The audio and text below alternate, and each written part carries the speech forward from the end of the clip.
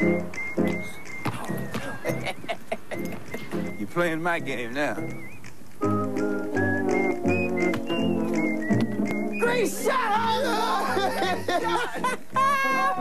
I'm back in it now. Find out for yourself. Three performances only. Washington's birthday weekend. Saturday at Madison Square Garden, Sunday at Meadowlands Arena, and Monday at the National.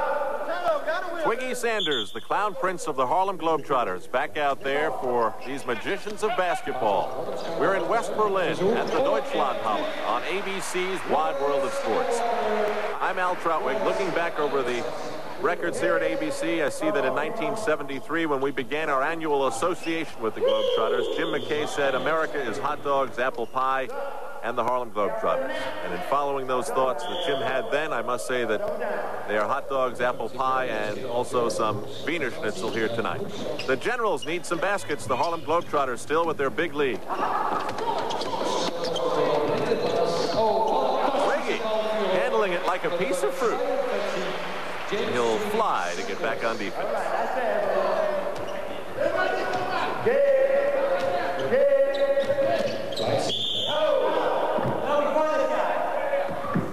Fouls on 2-6 before the shot with a block foul on the side. Are you sure? I don't want to lose sight of the fact that one of the generals who's had a fabulous game is number four for them, Clyde Sinclair. But the Globetrotters pay no mind. They just play their own game. Osborne Lockhart. Gerald Hooks has been with the Generals a number of years now, went in like a truck.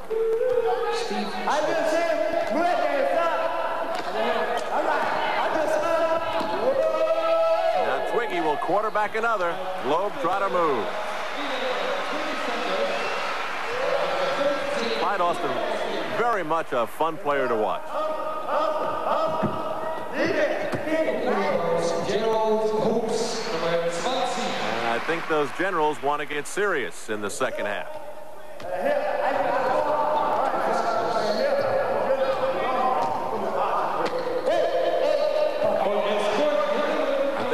Serious too after losing more than 9,000 games in a row. But Twiggy Sanders will have none of that serious stuff. Steve Schmidt. No one's guarding Twiggy. Yes.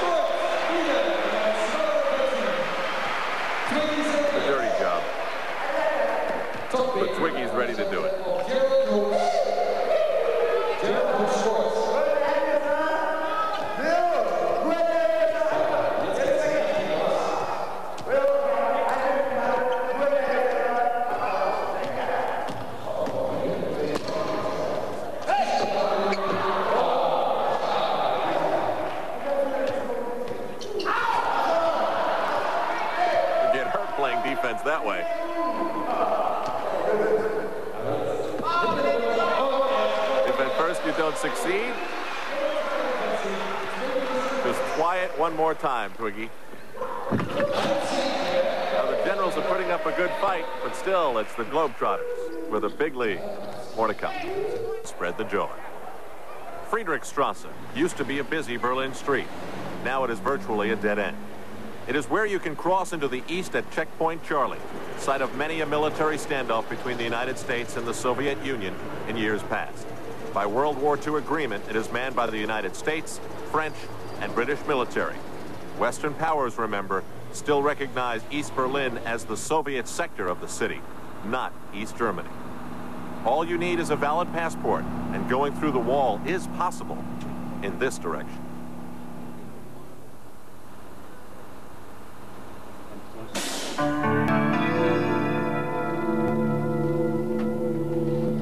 This isn't the way things felt to Sandra Hodge growing up in Clinton, Mississippi.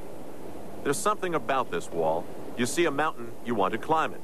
See the wall, and curiosity almost demands you try to get to the other side. Anticipation makes you think there's another world on the other side. But more looks the same about East Berlin than looks different. Lots of traffic. People dressed nicely. There were skyscrapers to see. But there is that one nagging difference.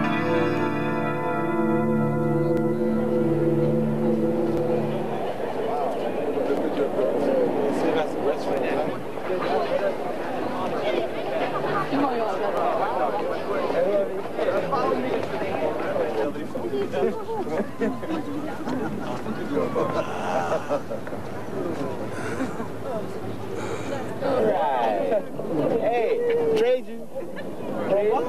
Ball? No. Nah, nah, I don't want that ball. Here.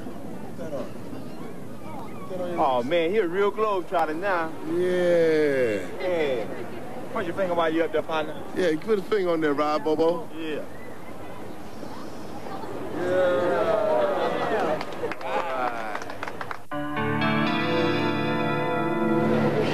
Basketball, right? Yeah. Hmm? you play basketball? You play basketball? You play basketball? No, Oh, you play swim. soccer? Huh? You play basketball? Yeah, you swim. What you do? Swim? No. Soccer? Soccer. Oh, wow. Yeah. Oh, Lord. hobby, man. This is the basketball player, man. Yeah. Yes, he is. He play basketball, man. Give him a wristband, Billy Ray. man, check Give him a wristband. look here. There you go. It's a gift from us. For you. All right. Okay? Yeah, There you go. All right, man. Yeah, way to go, Bobo. Yeah.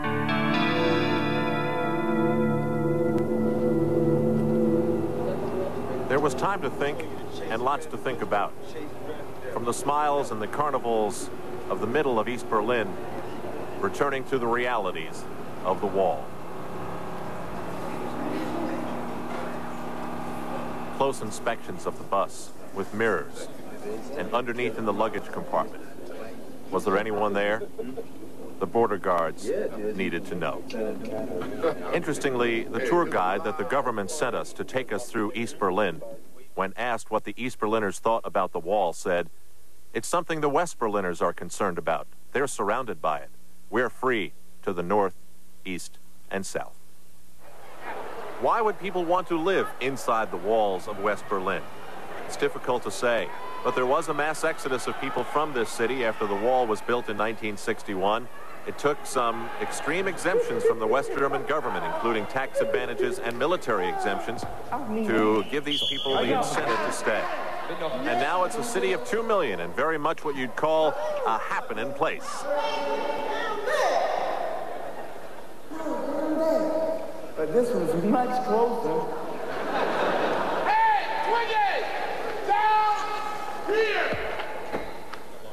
Okay. Und da kommen sie wieder, der Harlem Globetrotters. Und passen sich Twiggy Sanders auf Clyde Austin und Well, it took the Globetrotters a while, but they were patient, and finally, it paid off.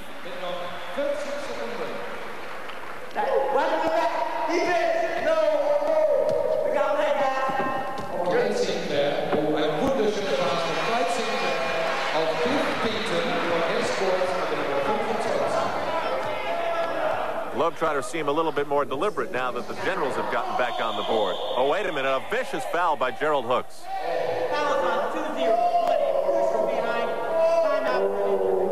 22,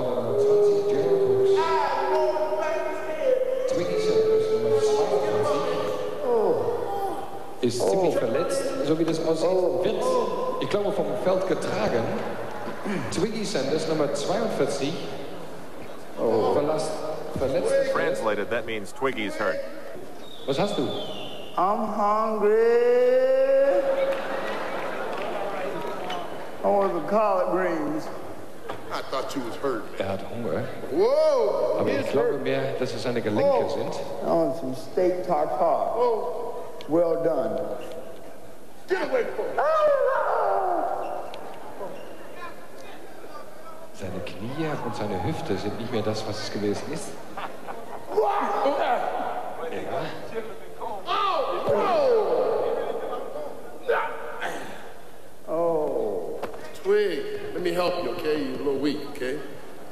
42. You all right? Uh-huh. Shoot the ball. Bang, bang. Yeah.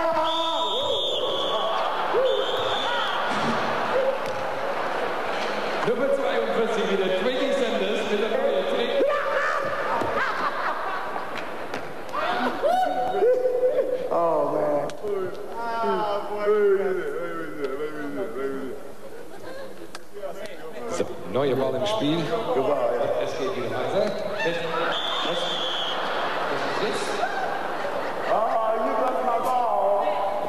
you got my ball. You bust my ball. Hey, hey. You bust my ball. listen you to bust me. my ball. I didn't bust your ball. bust my ball. The ball is kaput. Huh? The ball is kaput. Yeah, kaput. You bust my ball. You bust your ball, boy. You bust your ball. Well, we'll try to find a ball that isn't kaput and get back to the Globetrotters in Berlin. Franz Chancellor Bismarck. He put the German Empire together. Yeah, he got his buddy Atlas with him. It looked like he could have been an early globetrotter. Man, the uniform sure changed. Yeah. Hey, Ozzy, I might have peace, but the pressure's on you. You only one letter away from being the pig. I need this one, don't I? Yes, you do. All right. Oh, I'm gonna hit it in this shot I was going.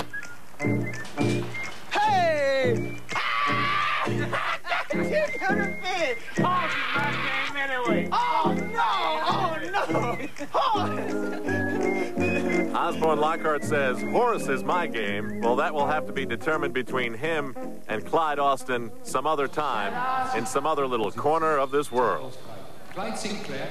Now, just a few seconds to go. The Generals, Clyde Sinclair gets an easy basket, but the Globetrotters never give it away easy. Finally, Dedrick Refugee lets it drop through. We'll see, even though with a big lead, whether the Globetrotters can get one more hoop and say good day to this crowd in Berlin.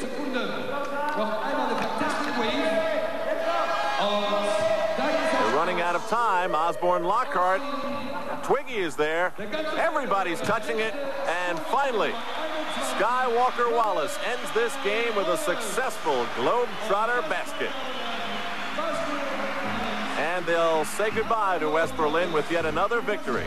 And those poor generals, they've waited 17 years to beat the Trotters, and they'll have to wait to another night in another town.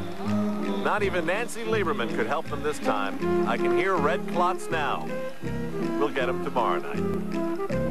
In 1927, Abe Saperstein may have stolen a recruiting line and said, join the Globetrotters and see the world. And that they have. In all, it's been 101 countries, including New York City. They'll tell you that what you see of this world is not always pretty, but to them, that never means the trip hasn't been worth it. And this trip is worth it to them. Passports in hand, they'll continue through Europe. It takes something special to last 60 years in sports and in show business, but time is what has given the Harlem Globetrotters their most prized place in the hearts of kids everywhere, of all ages. That is tradition. The Globetrotters are one of those things you expect to see every year and want to see every year. They are Thanksgiving, a game at the ballpark, a visit to Grandma. They are indelibly America. If they were suddenly gone, we'd miss them. And that's why they're still here and soon coming to play near you. And as they go along, there'll be more memories created to go along with the ones we have now, of visits with the Pope, of a revolution stopping in Peru just for them, of the Berlin Wall. They're still on the road, all because the Globetrotters know that